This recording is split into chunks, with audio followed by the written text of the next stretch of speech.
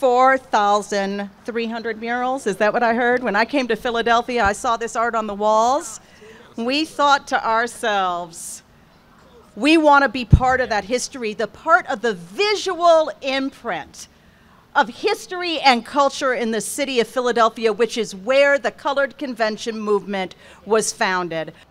Hundreds upon hundreds of black conventions in states and in national conventions gathered together from 1830 all the way through the end of the century in the prequel to the NAACP. If you can indulge me for a moment, I want to read something from our collective history.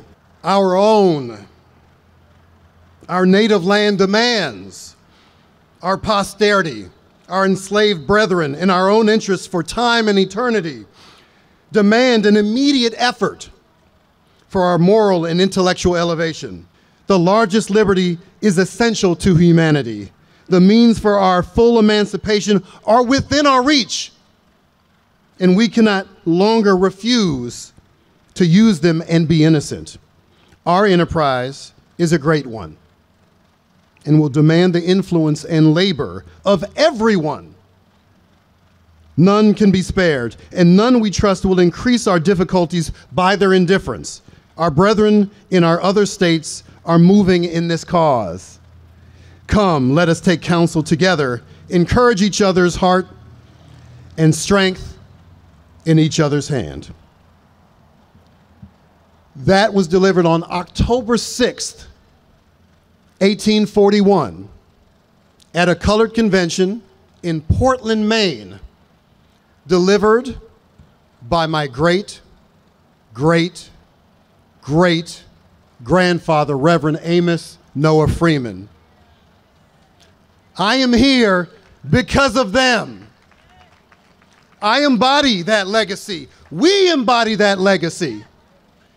We cannot be estranged from our own history, and we must tell our own stories. Some of those stories are going to be in the written word. Some of them are going to be visualizations that give us inspiration and hope and guidance. All of it matters. All of our talents complementing each other. We, every one of us, has a role to play. It may not be behind the mic. It may not be with a paintbrush. It may not be in the state legislature. But you have a role because our greatness is based on us working together. Thank you so much. It is truly an honor to be a part of this extraordinary moment.